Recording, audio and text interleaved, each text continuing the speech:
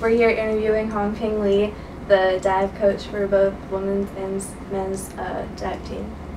So, what brought you to USC? What brought me to USC? I was very, very blessed and fortunate, fortunate enough to receive a full athletic scholarships after I competed in 1984 Los Angeles Olympic Games here at USC. And um, it was definitely the right timing for me. It's the time that I feel like I need to move on to explore to a different level of my life. So I decided to leave China to go in, um, to another country. In United States, USC, it was my number one choice.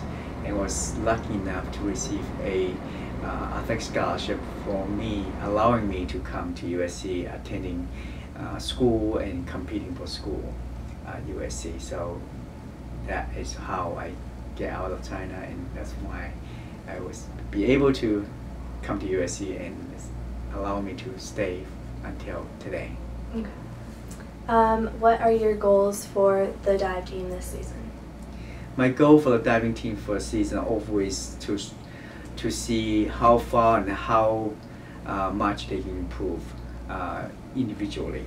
Uh, as you know, diving is an individual program. Each individual, if they're doing their best, the end up the team will be in a good stand. So each year I will talk to them and set up goal individually and hopefully with this goal in mind they will be able to reach out their um, best potential and and do the best they, they can in their physical ability and of course from there I, I will see the best result and as a, as a result I will see the team be the best it can be. Okay, and then beyond this season, what are your goals for the dive team? The goal for diving team always to try to recruit the best uh, in the country, uh, nationally, internationally, so we can uh, bring the best talent to the programs. Uh, to me, it doesn't matter uh, how good the coach you are. If we don't have talent, um, it's very hard to get to the level that we want to be.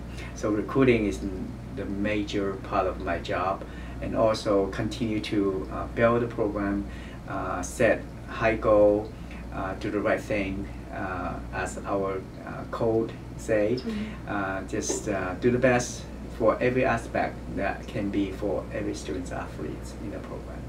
Okay, and um, what would you say is your favorite part about diving? See our athlete improve every day. Okay. Uh, today better than yesterday, uh, this year better than last year see them improve. Right. And then what does it mean to you to be a Trojan?